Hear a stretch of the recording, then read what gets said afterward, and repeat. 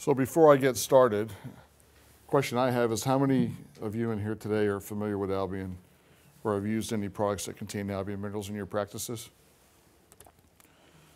Long time or recent or? Yeah, okay, great. Well, Albion is a, is a company that's dedicated to mineral science. The company was started in uh, 1956 by a gentleman named Harvey Ashmead. Uh, Harvey, prior to Albion, was a biochemist with Pfizer. And the whole impetus for Albion, we originally started as a veterinary and pharmaceutical company. So a lot of the early development with the chelated minerals, which is pretty much on par with everything else, is animal study related. And one thing that we found during all this work up to the human products division is that um, the animals, uh, when they were taking a common mineral salt that was used in feed or anything like that, was basically in one end and out the other. So there was very little absorption of the minerals. So what happened is Harvey uh, developed a program and a process to, at that time, uh, make a chelate.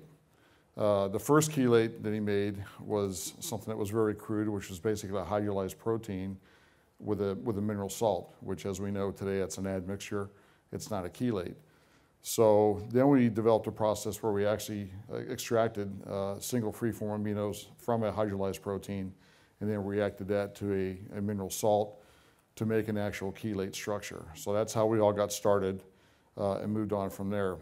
Um, as amino acids became predominant in the marketplace, you know, 40 years ago, uh, then we were able to start buying free-form minerals, amino acids to make the mineral chelates, which greatly enhanced our production opportunities and the ability for us to create more chelate uh, ingredients, you know, down the road. So basically, Albion, uh, as we stand today, um, we have a, a, new owner. In February, we were bought by a company called Balchem. I'm not sure if you're familiar with Balchem as a company. Uh, their claim to fame is VitaCholine. And so what they figured with us is we have a lot of similar characteristics and same type of customers that we sell to. So there's a lot of commonality there. So we expect great things in the future, not only from Albion, but from Balchem as we work together with what we manufacture and what they make and complement everything. Let's go back to the beginning. There we go. We're there. There Okay. go. All right, so as we get started today, uh, the thing to understand is what exactly is a mineral chelate? This is the structure of a mineral chelate. The M in the middle is a mineral. It could be anything. It could be magnesium, copper, zinc. It could be calcium. And what you see on either side is a bicyclic structure. That is the amino acid that is bound to the mineral. So basically what happens when we make a mineral chelate, we're taking a, a um, form of mineral that's in the salt and we're creating a dipeptide protein molecule. So the structure is a bisglycinate chelate with one glycine on either side with the mineral as a closing member of the structure function of the molecule. Oh, going the wrong way. Back in the, the mid 90s, there was a group that was put together by the NNFA. This group is now called the Natural Products Association. And, and you know, at that time, there was a lot of uh, mis misconception of what exactly is a chelated mineral. So this was a group that was made up of many people that are involved in the industry, some that uh, claimed to make chelates, and of course Albion was part of this group. So the de definition of what a chelate mineral is, is a product resulting from the reaction of a metal ion from a soluble metal salt with an amino acid of a molar ratio of one mole of metal to one to, uh, one to three, preferably two moles of amino acid to form coordinate covalent bonds. Now, the one thing that's wrong with, with this statement is that when you have a one-to-one ratio mole, it's not a chelate, it's a complex. And we'll get more into that with some of the other products that we make that we do call complexes. So this is not accurate as far as an industry definition of what a chelate is. What a chelate is, is a two moles of the amino acid, at least two moles to one mole of the mineral. The Other thing that's important about a chelated mineral is that there's a weight uh, limitation also. The average molecular weight of the hydrolyzed amino acids must be about 150 atomic mass units. That's the weight of each amino acid on either side of the mineral. And then the resulting weight of the structure cannot exceed 800 atomic mass units. The reason for that is if the molecule is much larger than that, once it gets ingested and gets into the stomach, it's going to go through an ionization process where the body is going to try to break it down to a smaller molecule so that when it passes through the stomach into the intestinal tract for absorption, uh, it'll be at a size that the body can tolerate. So the minimum elemental metal content is declared uh, as a chelate. Um, in the case, example with copper, copper we make as a 10% elemental copper, and the actual structural name is a copper bisglycinate chelate. When it's called amino acid chelate, that's just basically a generic term, and it doesn't really tell you what is the structure of that particular molecule. What is an amino acid chelate? Uh, the chelation occurs when the cation M, which would be the mineral in the middle of the structure there, is held by ionic and coordinate covalent bonds from the same molecule. We use glycine more than anything in creating a chelate structure, and the reason why glycine is very well tolerated by the body, and it's also a very low molecular weight, so it works very well when we have the weight considerations and what it needs to be to stay in a chelate structure. The ligand backbone isolates the cation from reactions with other compounds. Two amino acids can chelate a single polyvalent cation, resulting in a bicyclic dipeptide-like structure. So basically, getting back to the dipeptide, the body, when, it ingests this, thinks it's a protein. This will resist gastric acid hydrolysis and intestinal enzyme cleavage. The metals in these chelates are typically absorbed through an active transport at the jejunal dipeptide absorptive site. So it's going to go through the stomach into the intestinal tract, and they're going to be absorbed at different sites. So they're not all competing for absorption into one cell. That is common with the mineral salts. When such a chelate is ingested, intestinal uptake is significantly greater than for corresponding amounts of ingested inorganic mineral salts. Salts would be chlorides, carbonates, oxides, um, sulfates, things like that.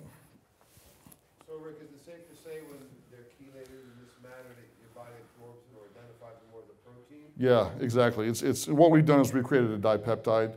And what's other, what else is unique about this structure is that because it's, the stability of the chelate is also very important. If the bond is, is too weak, then there's a chance that it could disassociate into stomach acid. But then if the bond is too strong, once it gets through the stomach into the cells for absorption, then it may not disassociate properly once it gets transverses through the cell into the bloodstream. A few things that make Albion's mineral chelate stand out. Uh, over the years, we have uh, been uh, granted over 150 patents in the field of mineral technology. This not only includes human nutrition, but also we are really big in foliar nutrition and also anything that we've done in the animal field, which is where we started. Um, our Albion chelates have been the only chelates that have been given CAS registration numbers. Uh, what this is, is this is more like an identity testing or a verification of what you actually make is what you say it is, and this is done through the American Chemical Society. Our Albion chelates are all kosher, they're all halal certified. So if anybody has any dietary limitations, it's safe for everybody to take.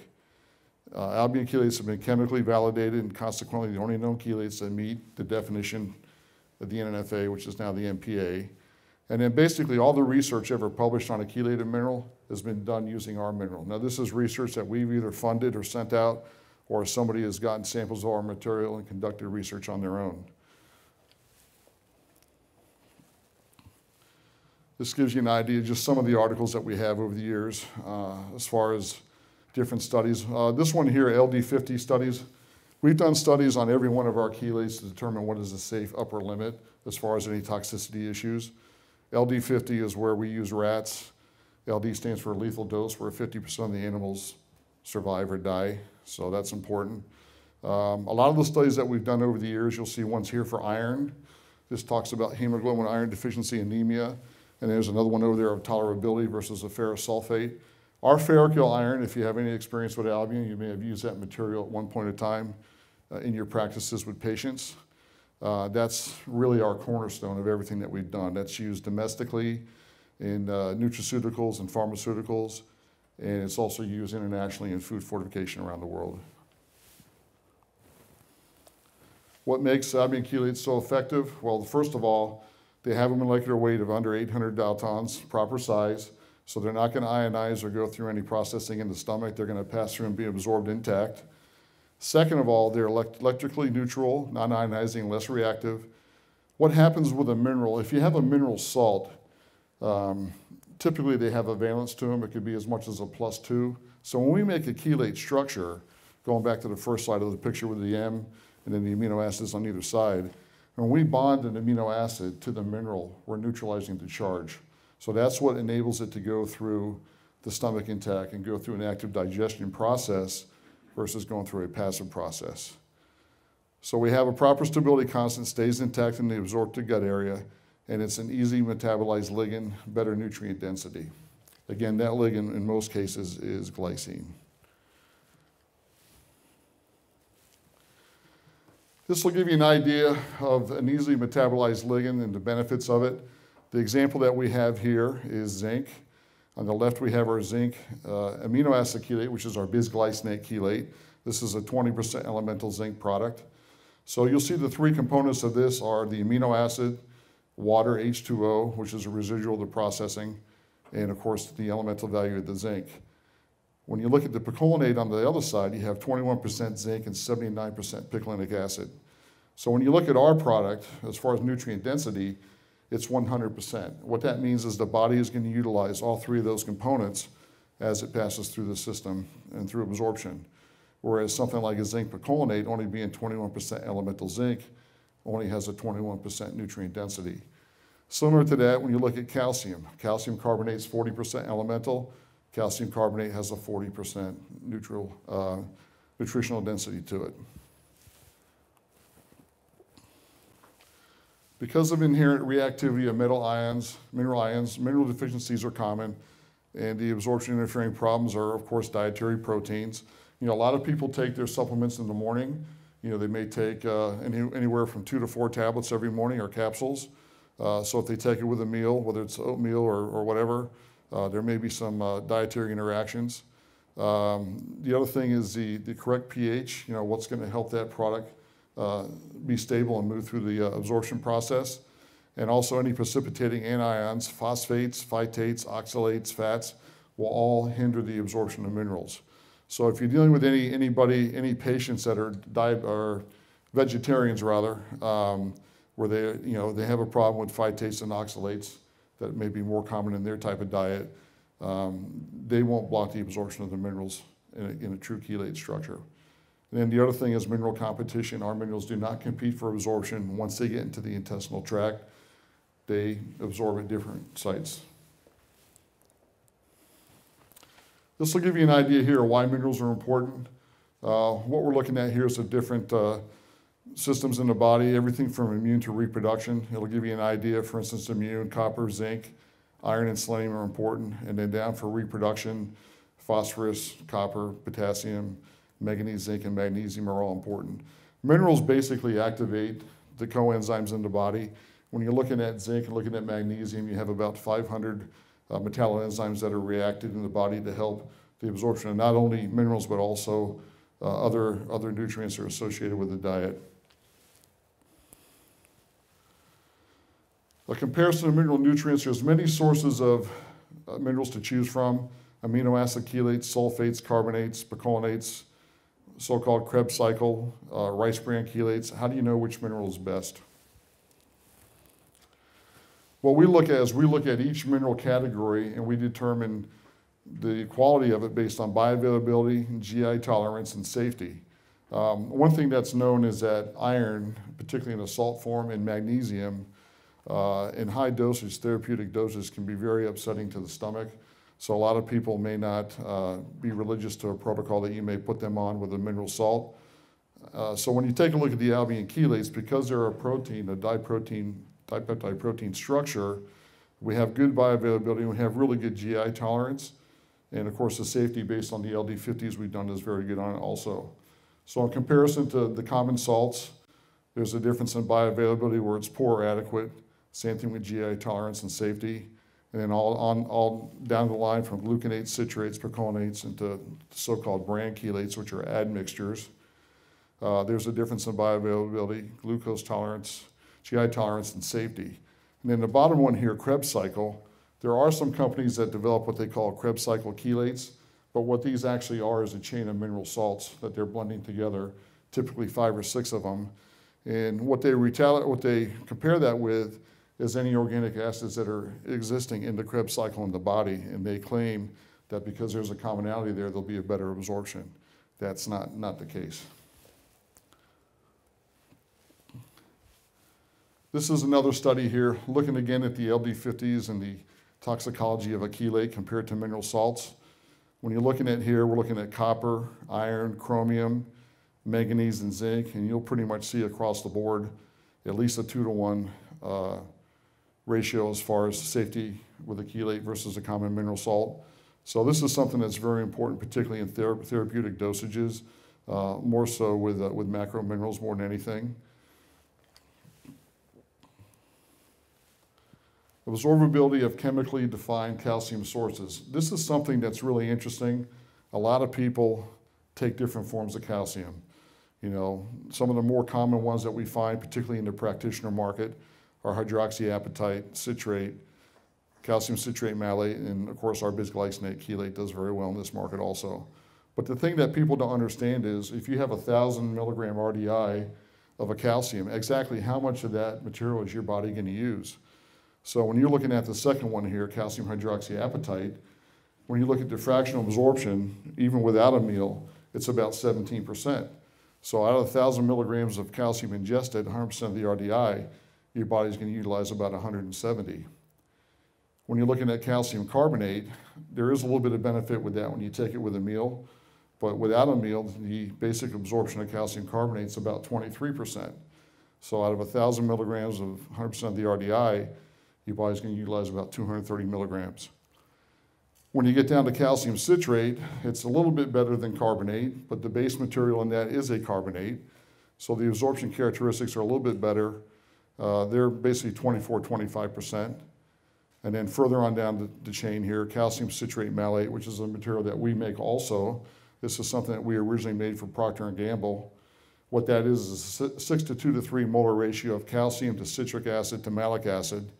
And the studies that have been on, done on that show a 36% absorption, which is very good for a non-chelated form of the mineral.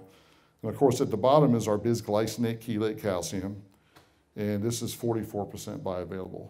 So you can see across the board there, the chelate form of the calcium is in most cases almost two to one what the, the mineral salt would be uh, of a comparing uh, ion of calcium. This is another chart that kind of illustrates that. This, is, this was a study done by Dr. Robert Heaney at Creighton University. Uh, he's done a lot of work for us over the years. He passed away a couple months ago, but at the time he was the foremost researcher on calcium in the United States. So what he looked at in this study for us in 1990 was basically five forms of calcium, calcium carbonate, calcium from milk, our chelate, calcium from citrate, and then from hydroxyapatite. So you can see across the spectrum there, uh, of course, the chelate being a dipeptide structure and being more stable and bioavailable has a higher absorption rate. Uh, and the thing that's interesting here is that milk calcium at 27% is even better than supplementing with a carbonate or a citrate. So I guess, your, I guess milk does your body some good. This is a study here looking at zinc absorption. What we're looking at here is our zinc bisglycinate chelate in the blue. Then we have a zinc citrate and a zinc picolinate. As you can see, the zinc citrate does pretty well. Uh, the chelate is still better as a dipeptide molecule, but uh, a picolinic acid form of a mineral is not very well absorbed. You can make a chelate with it, but it's not, not common to the body. Uh, a study was done on this a couple years ago at Ohio State University that was funded by the manufacturers of zinc picolinate. What they did was is they had four minerals in the study. They had zinc gluconate, they had zinc oxide, they had zinc picolinate, and they said, oh, by the way, let's put the Albion zinc bisglycinate chelate in there. So at the end of the day, the result of the study was something that wasn't published because it was not necessarily usable. So what happened was is out of the four forms of the zinc, the worst one was zinc gluconate. Second from the bottom was picolinate. Zinc oxide was better than picolinate, and of course, our zinc bisglycinate chelate, as far as characteristics of absorption, were better than all four of them. This here talks about magnesium. We've got four different forms of magnesium here. The one on the left is our magnesium bisglycinate chelate. Then we have magnesium carbonate, magnesium sulfate, and magnesium oxide. Um, oxide is very much a common form of magnesium used in dietary supplements. And the main reason for that is because it's very high elemental. It's 52% magnesium. So you can see from a dosage standpoint and a cost per serving or dosage, it's can be very low. On the flip side of that, because of the structure of a chelate and the size and the weight limitation, our bisglycinate chelate is only 10% magnesium elemental value. But when you look at the comparison of these four forms, you can see quite a bit, quite a bit of difference as far as the absorption characteristics of these particular products.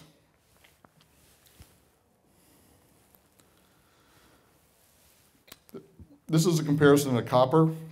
We make a copper bisglycinate chelate, and what they looked at in this slide here was uh, cupric oxide, copper sulfate, and copper carbonate. Uh, the sulfate and the carbonate are more common in, in uh, clinical applications.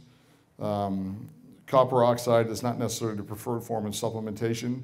We'll see a little bit more copper citrate and something like that. But uh, in looking at this here, our bisglycinate chelate form of copper was over three, three times more bioavailable than these other forms of copper. This slide here looks at chromium absorption. Um, chromium is an interesting mineral. There's many different forms. There's been many, a lot of research done on chromium. But when you look at the different forms of chromium, what is the best as far as absorption? This was a study that we did on uh, animals up at the University of Guelph in Ontario. What we looked at here was uh, chromium chloride, which is a common salt form, our chromium picolinate, chromium polynicotinate, and our TRAACS chromium bisglyc- or chromium nicotinate glycinate chelate.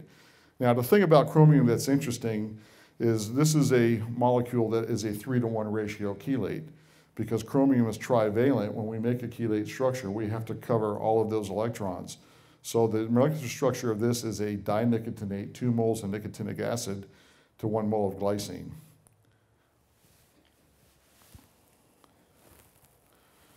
Looking again at, at chromium, uh, blood serum counts. This was again the study that we did up in Canada. Uh, this looks at chromium chloride, chromium picolinate, in our TRAACS, chromium, uh, chromium nicotinate glycinate chelate. And what we're looking at here is the one hour versus two hour retention times. And you can see that um, there's more, more of a duration of chromium from our TRAACS versus the, the picolinate form or the common salt, the chromium chloride. Picolinates are absorbed but not metabolized. These mineral chelates are eliminated intact in the urine without being used by the body. You can make a chelate with picolinic acid, but it's not the best form to deliver a mineral to the intestines for absorption. Are there antagonisms between minerals that affect nutrition responses? This is what we call a mineral wheel. This is kind of interesting because we have all the minerals on the outside. At the top, you have phosphorus. When you're looking at particularly common mineral salts, phosphorus pretty much interacts with every mineral for absorption. So for instance, if there's a formulation out there that uses a, a dicalcium phosphate or tricalcium phosphate and it's in a high amount, then if there's any other common mineral salts in there, for instance, when you look at the relationship between phosphorus and calcium in the red, or you look at iron and phosphorus, you can see that there's going to be an antagonism there where the arrows are pointing against each other.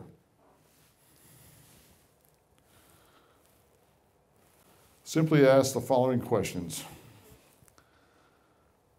Okay, how does one evaluate Albion chelates against the other mineral forms in the marketplace, which also talk of availability? Are the minerals, first of all, are they truly chelated to amino acids or just complex by mixing trace minerals with protein?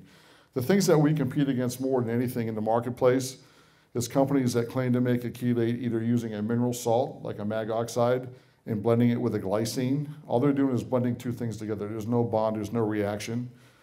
Or in other instances where they're taking a hydrolyzed vegetable protein or a hydrolyzed animal protein and blending that with a mineral salt, claiming that's a chelate also. Again, those are admixtures. Now, one of the downsides of a hydrolyzed uh, protein material is that when they do the hydrolysis, the glutamine amino is going to convert to the salt form, which is monosodium glutamate. So from a, from a um, a process of, of taking a supplement, why would you want to have an MSG as part of the equation?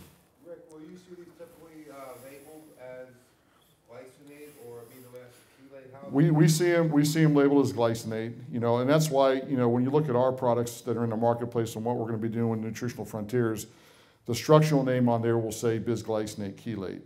So you know everybody knows you know that's what the correct chelate is going to be. We don't simply list it as a glycinate. Now, the one mineral that we do list as a glycinate is molybdenum. And the reason why they decided to do that is because the actual molar ratio is 2.8 to 1. So it's almost a, a trivalent. So for whatever reason, they said, let's just call this a glycinate. But actually, it is a bisglycinate structure. So that's the difference there. And then the other ones, um, using the hydrolyzed proteins, we'll simply just call them amino acid chelates, but they're not necessarily defining in the supplement facts panel what it's bound to or what the ligand is in that product. Where with ours, it'll say based on what the amino acid is, whether it's glycine or arginine or something like that. Yeah, the logo we use for you guys is TRAACS, the real amino acid chelate. TRAACS is the real amino acid chelate system, correct. Other questions, does the product have stability when subjected to various pH ranges found in digestion?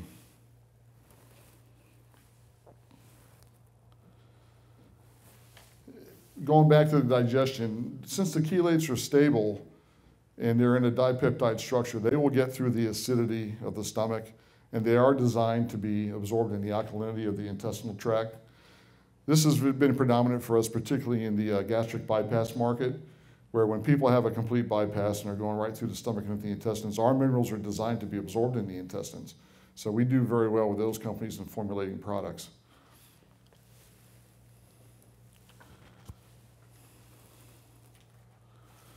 Does the product have test data to show it really works? Not many of them do. Is it expensive? Uh, chelates are more expensive than your common mineral salts. The other thing is, getting back to the example I gave with magnesium, which is 52% elemental, where ours is 10%, you're going to have a, quite a difference in the dosage of the material itself. So it will be a little bit more expensive to formulate with these products, but the end result is a better delivery system and more bioavailability of the mineral. What proof is there of the greater bioavailability of Albion chelated minerals? Uh, virtually all the clinical research done on a chelated mineral has been with an Albion material. Uh, we've chemically validated everything. This goes through our, our CAS registration numbers. When we originally developed the first chelates, we used X-ray uh, crystallography to create uh, a system where we could identify that it was a true chelate bond being made.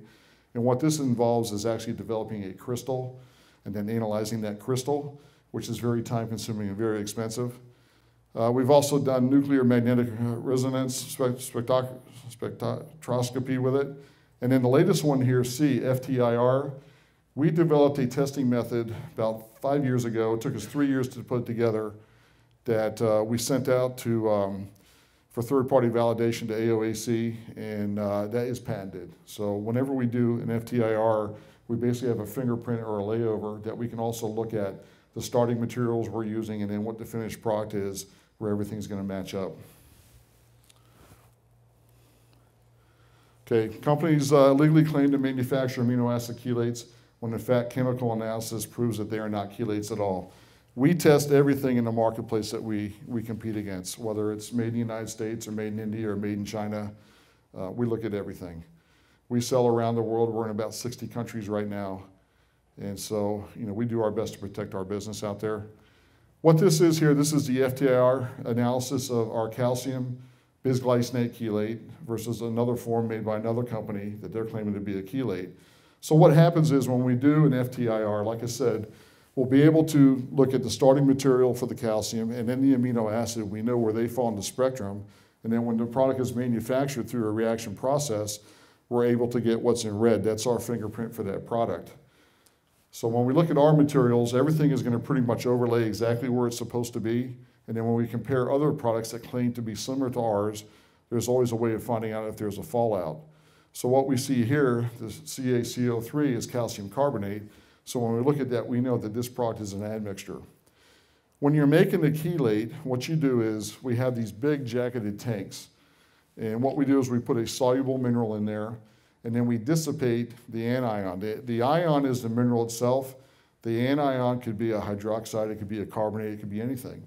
But what we need to do is we need to get that out of the way, totally flush out of the system, before we can put the amino acid there and make that reaction to create the dipeptide chelate bond.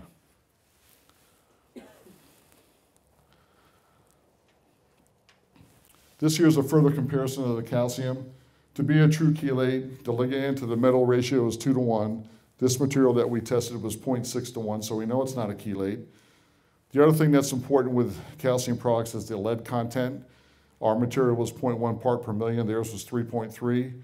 With ours, there was no evidence of organic impurities. What we found with theirs was there was a presence of calcium carbonate. In addition, there was no evidence of separation of water of the ligand from the metal.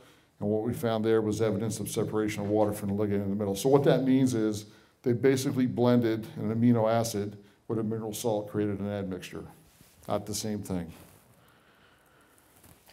So concluding this, uh, our chelate has the chemical and spectral evidence of being a true chelate, and the other company's chelate shows it was unreacted calcium carbonate blended with a small amount of glycine, not a chelate, it's not even a glycinate salt. This is a uh, FTIR comparison of Ferrochel. Again, Ferrochel is our probably our main product. Uh, this does very well in food fortification around the world. Everything from dairy products to yogurts to baked goods. Uh, we do a lot with it domestically in supplements, not only in the practitioner market that you're in, but also in the retail market and also in pharmaceutical uh, applications. So what we did here was looking at a comparison of our Ferrochel versus another company that claimed to make an iron chelate. And basically we found that there was a sulfate peak, which means it's a ferrous sulfate, and then there was no evidence of chelation based on the fingerprint layover of the material. So in comparing, comparing the two forms of the iron here, our Ferrochel is a two to one ratio. That's where it needs to be to be a chelate. Two moles of the amino acid to one mole of the mineral. This material was 0.7 to 1. No evidence of inorganic iron in ours, evidence of ferrous sulfate in their product. No other metal contaminations. This product that we examined showed evidence of potassium, so it might have been either an instrument or a manufacturing that wasn't totally, totally clean. And then, of course, no separation of the metal from ligand and water. And then the other product we found, uh, iron sulfate crystals recovered in separation and the, uh, the metal had separated from the ligand, so it was an admixture. Again, looking at this, uh, Ferrochel is a true amino acid chelate, no evidence of impurities, and then basically the other company was ferrous sulfate blended with a protein. This one here looks at zinc. Uh, our zinc product is a zinc bisglycinate chelate. It's a 20% elemental material. So what we looked at here was a competing zinc product. And basically, there was no evidence of chelation. There was a free amino acid. What this is basically telling us, again, it's a salt that's just blended with a glycine. The end result of this was a two to one ratio for our material, 0.8 to one for theirs. Uh, both of these products had no evidence of inorganic impurities, which was good. Um, our lead content was very low, theirs was 2.0. And of course, their material had separation of the metal and the ligand in water.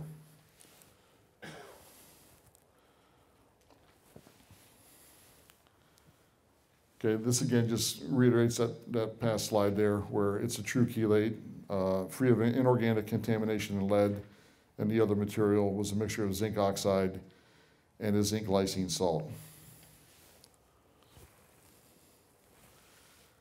This is looking at uh, lead contents in calcium. Uh, what it looks at, the state of California lead, that's, that's an upper limit, number 13.4. Of course, with Prop 65, that number is a lot less. But when we looked at the calcium, the lead in calcium in competing chelates, we found an average to be about 3.6 parts per million. Our material was uh, less than 0.1 part per million. So that's very good, particularly with calcium, because being a macro mineral, the dosage is a lot greater than what the elemental value is. Our material, if you're going to have 100% of the RDI, our calcium is 18% elemental. So at 1,000 milligrams, you know, you're going to have 555 milligrams uh, or five, 5.5 grams of material to equal that 1,000 milligrams. So being lead-free or very low lead is very important. This is something looking at cadmium. One thing to look at is, uh, particularly with the GMPs and force, and there's additional testing on a lot of these minerals, is the heavy metal content. Cadmium is something that comes up a lot. So uh, when we look at our material, our products are ba basically void of cadmium versus other materials we looked at that were pretty high. And all this start, all this really comes from is the starting material that you're using for the product. When we go out and we source our starting minerals, I mean, we may bring in, you know, 5, 10, 15 different forms from different companies. And we're lucky if we find one or two that are actually clean enough for to use in our process. So there's a lot of, lot of questionable material that's out in the marketplace regarding any heavy metal content.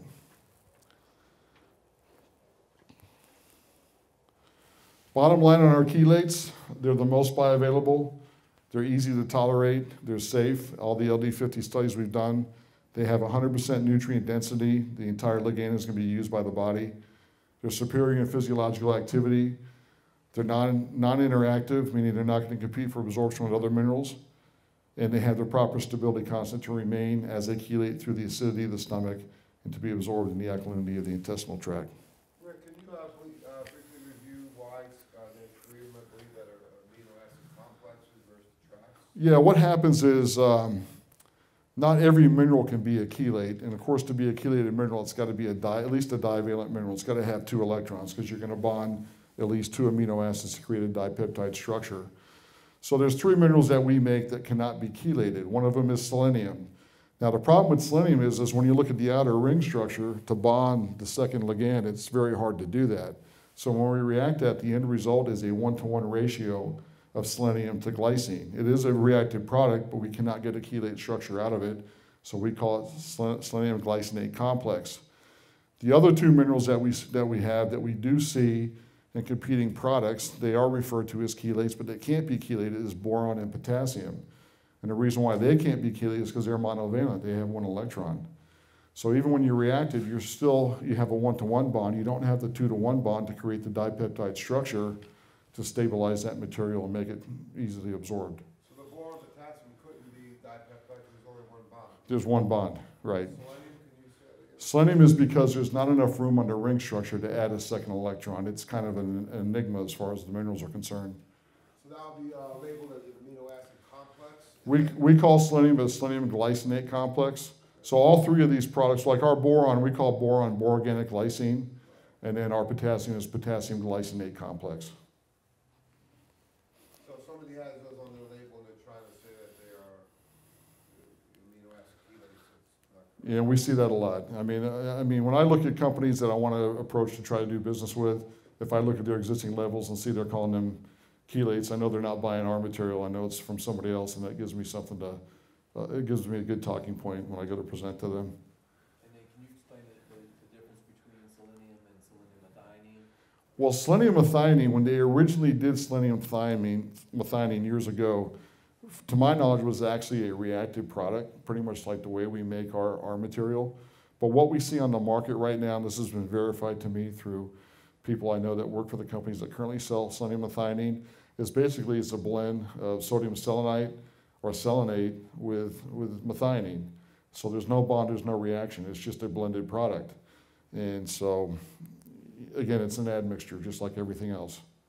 So is that, uh, due to, uh, financing or technology, or they don't know, or? I, I, don't know. I don't know if it's just, it- well, you know, the technology, I mean, what we do, I'm sure other people could try to duplicate. I mean, you know, the process is, is time consuming. Um, you know, you can't make the product in the day. It, it may evolve over a couple days with a, with a proper reaction. And then you have to do a, a drying process, which we have a, you know, a spray dryer that we use. But, you know, when you're simply just taking any ingredients and blending them together, I tell people it's like making a cake. You just put ingredients together. So it's, it's, uh, it's a lot different. Basically here, uh, on this slide here, uh, this just gives you an illustration of the, various patents that we've received. Uh, this is, this is over the course of a 60-year history of being a company. And uh, it's, it's pretty predominant. They're not just United States patents, there's also international patents there. Uh, an interesting story, you know, our president of the company that just sold Albion, DeWayne Ashmead, uh, he was pretty much our ambassador around the world. We've done a lot of work with UNICEF and World Health Organization. We've done a lot of research with different companies like Procter & Gamble and so forth in Latin America for the use of our, our mineral chelates and different food fortification. When you're dealing in, in populations like that, the most economical way to get nutrition to those people is through the food supply. Not very many of them can afford to go buy a bottle of supplements or something like that. But DeWayne was telling me a story one time that uh, he went to Israel and met with Anwar Sadat and had a really good, spent a few days with him. And when he got home, he got a phone call from Sadat saying, you know, thank you for coming and, and explaining what Albion does, and we think it's going to be a great benefit for our people. We were looking forward to working with you. And the next day, he was assassinated. So, DeWayne's story to us is I may be the last person that talked on the phone with Anwar Sadat, which was kind of interesting. But we've had a lot of people over the years um, that have been instrumental in human health that have been supportive of Albion. Christiaan Barnard was a big fan of Albion. Uh, before I went to work for the company, I've been with Albion 16 years now. I used to do contract manufacturing, and the last human nutrition conference Albion had was uh, 1998. Uh, this was two weeks after Harvey passed away. DeWayne became the president. They decided to go on with the uh, Human Nutrition Conference to honor Harvey, and Christiaan Barnard was there in attendance and was the speaker for us. So it was kind of interesting to see the guy that did the first, you know, heart transplant that was, you know, a big fan of what we did and understand, you know, the value of Albion minerals not only around the world, but particularly in, in South Africa. So.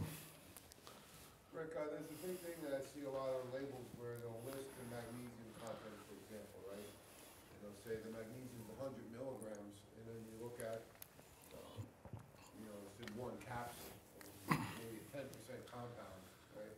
So there's no way to get hundred milligrams of elemental. Can you explain a little more total weight versus elemental and how important? Well, when you take a look at magnesium, again, the high end of the spectrum is mag oxides, 52%, so your dosage is very low. You know, if you go to Walmart or somewhere like that and you buy a magnesium, it's going to be a mag oxide. You're probably going to get a thousand tablets for you know six dollars and ninety-five cents or something like that.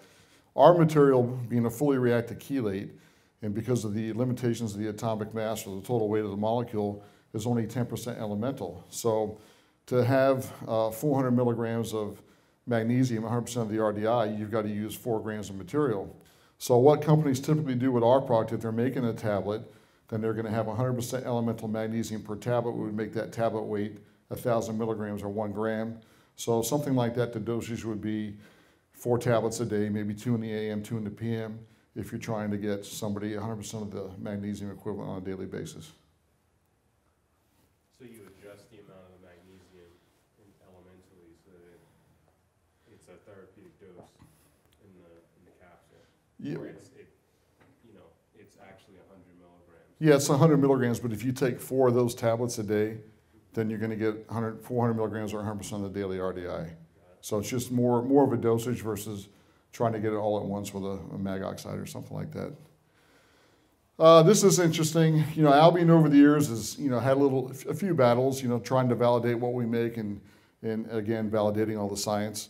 So in 1977, uh, we actually sued the FDA and they came back and they reviewed our materials and they said, you know, based on the science you provide to us, we agree Albion makes a chelated mineral. And then over the years, the FDA has become a really good ally for us. Uh, our Ferrochel, which is used around the world in supplementation and food fortification, was uh, added to Codex Alimentarius. And the way you get on there is through a government body, and it was sponsored by the Food and Drug Association of the United States. So that's been very good for us. So, you know, we've done everything we can to validate that our materials are actually what they are and there is a benefit versus the common counterparts that are available in the marketplace. So, in summarizing everything here, um, we have a lot of companies that compete against us. We do find a lot of our marketing material makes its way into their presentations, uh, which is, you know, basically borrowed science. Um, we manufacture amino acid chelates and guarantee absorption and bioavailability. Uh, we've proven that uh, our proprietary brand chelates are safe through the LD50 studies. We know what the safe upper limit is. And we've proven that our amino acid chelates are effective, meaning they have good bioavailability. That's it. Thank you for your time.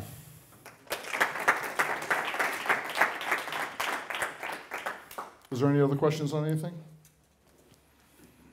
Everybody's ready to go home, right?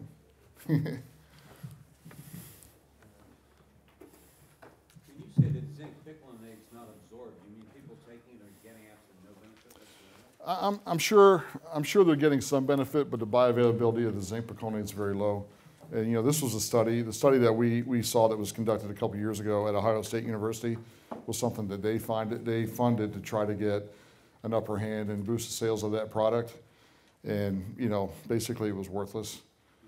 You know, and when I look at zinc oxide, and if you tell me zinc oxide is better absorbed than zinc picolinate, I mean, there's a big difference in cost of material and, and dosage and everything on that too. Anything else? Great, thank you very much.